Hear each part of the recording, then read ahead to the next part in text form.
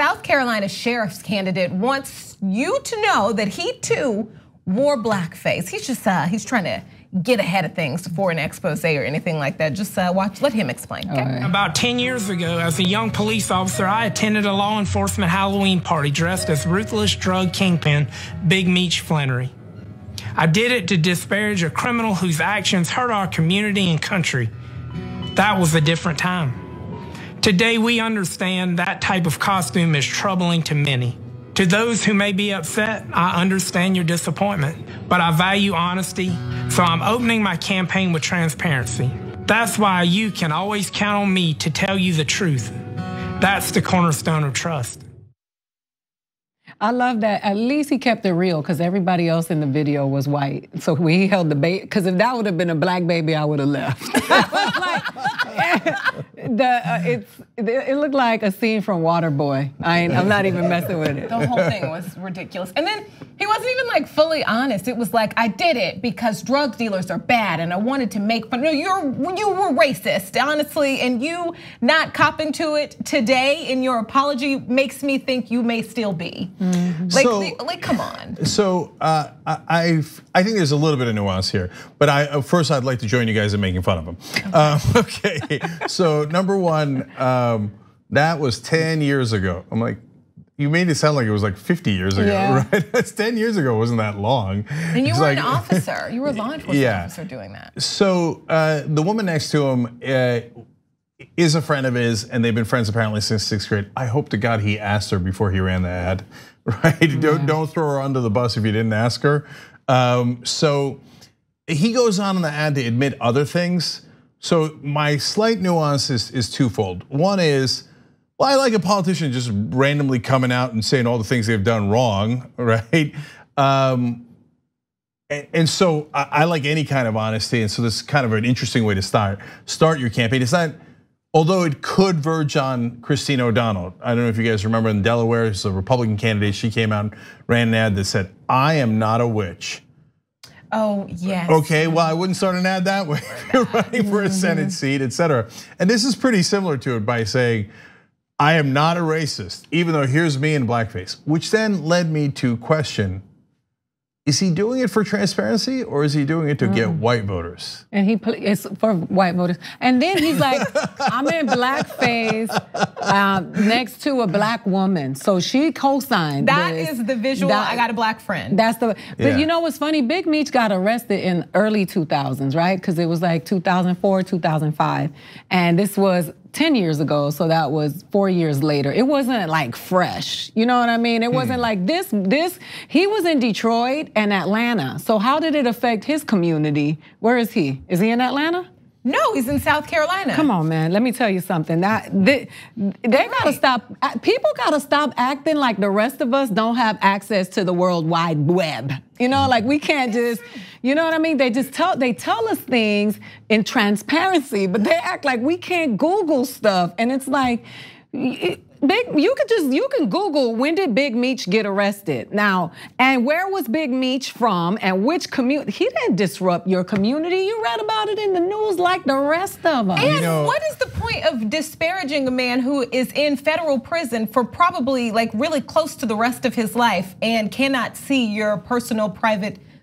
costume party. Yeah. I don't know, that's weird. I so I hadn't thought of what I just said. I, I should have Googled it. but like you're right. Now that you give it that context, for because he framed the ad that way, I have to confess I made a mistake. I thought he was from that area, mm. uh, and he's not. So then, then all of a sudden, that's like, well, in honor of Tupac being killed. like what? Yeah. Like, right. Wait, that doesn't have anything to do with this. Yeah. Uh, so now, look, I I have said this on uh, before, and I'll say it again here. I think a lot of people in this country don't know why blackface is so bad. And so they don't know the history of, of, the minstrel shows. They don't know Birth of a Nation. They don't know that that is why African it was done by white people to make fun of African Americans, and then it would often lead to severe consequences. Uh, making fun of African Americans when they had no power to begin with was already despicable enough, but then it would be used as justification in Birth of a Nation, the first major motion picture. It's a white guy in a black face going around kidnapping white women and raping them.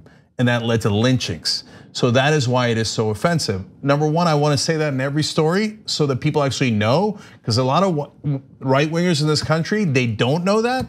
And they're always like, what's the big deal? Yeah. What's the big deal? But none of these people right. think that they are paying homage to a black person. No, they all know at the very no. least that they are making fun of a black person. I mean, and intent does not negate impact, and your racist actions and your ignorance of them does not mitigate the damage that you cause. Everybody has to be responsible for their own actions and their own part in perpetuating white supremacy. Tell it, baby girl. And you know I can call her baby girl because she's my baby girl. So don't even hit me with them dumb comments.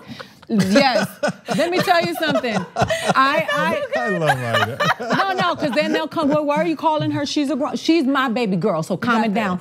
That's exactly right. And imagine if black people, if some black people walked around letting their hair get matted, walking around with dirty with dirty feet and no shoes on, and and perpetuated the horrible stereotypes that people have about white people and white women you there would be outrage.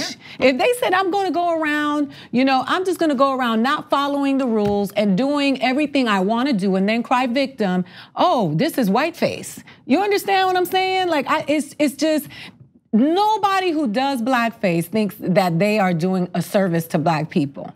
And even if you are making fun, look, what Big Meech and those people did was wrong. Distributing drugs, specifically the way they affect black and brown communities, wrong. Yeah. The sentence for that was the rest of your life in prison. Not a bunch of white people getting around to go around portraying you, knowing the people around him don't even know who Big Meech is. All you're doing is making fun of a black man. And that further further services the dehumanization of black people in this country, which often can lead to their danger and death. And that's not okay. And listen, go get some therapy for that impediment, because I don't trust nobody who talk like that. And I say this all the time. I think like black people have to know, and, and women too, in, in, in a separate, and, and uh, obviously I'm black and a woman, but like there are things that you have to know from a very small age before going out in this world and interacting with other people. Even to this day, you know, you have to make sure that, you know, you don't seem intimidating mm-hmm. to scare a white person. You can't make a white person think that you're going to attack them.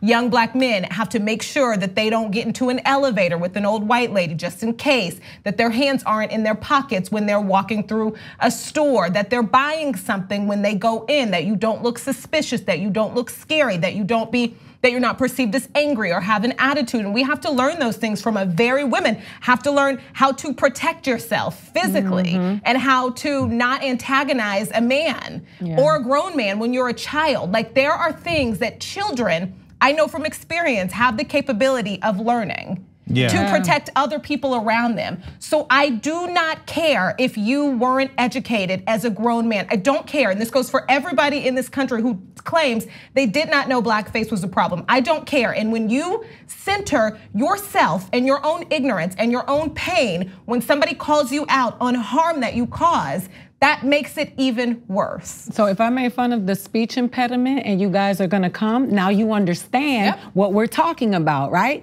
So I said it on purpose, right? So if I if somebody were would to be like, look, this old dumb hick from the South, he's a speech impediment, he looks like a blah blah blah. That is wrongfully characterizing somebody based on where they're from, how they talk, blah blah blah, and so on and so forth.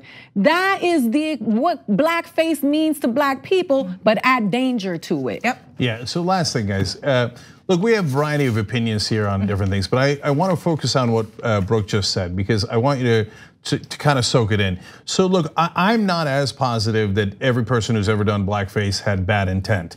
But but let, hear out what Brooke just said. Then let's have the same standard for everybody because when uh, an African American guy goes into a store, he has no bad intent at all, and yet he is judged for different things that he did not intend at all. And but a lot of folks will say, well, he shouldn't have dressed that way. Mm-hmm. He shouldn't have said that. He shouldn't mm-hmm. have done this. He shouldn't have had that demeanor. At that point, you're not worried about his intent. So then you don't get to turn around and say, but he didn't have bad intent. Mm-hmm. So all I'm asking for is that we have the same standard for everybody. And right now that does not exist. So for the powerless, it's I don't give a damn about his intent. He he shouldn't have done this, this, or this. So the same rules should be applied to everyone. Thanks for watching the Young Turks. Really appreciate it. Another way to show support is through YouTube memberships. You'll get to interact with us more. There's live chat emojis, badges. You've got emojis of me, Ana, John, JR. So those are super fun. But you also get playback of our exclusive member only shows and specials right after they air. So all of that, all you gotta do is click that join button right underneath the video. Thank you.